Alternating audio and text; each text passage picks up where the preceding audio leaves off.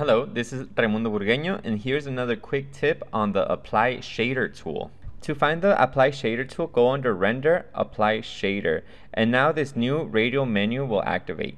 If you hold down your right mouse button and go up, it will activate the Pick Shader tool. And whenever you select a shader, it will automatically select it. And then with your left mouse button, you can, you can shade whatever component you're looking at. So here, I'm just gonna pick this orange shader and now I'm gonna I'm gonna select these little lights. But let's say I wanna uh, shade a whole object. I'm gonna use my middle mouse button and with the radial menu I could select assign by object and now whatever object I click on it will assign the shader that has been selected.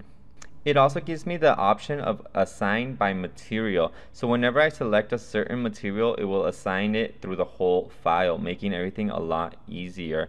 If I hold my middle mouse button to the right and click on a shader, it will the, the shader's properties will pop up and I could easily change them to however I want. This is one of the tools I use the most and I highly recommend everyone to use it in their design workflow.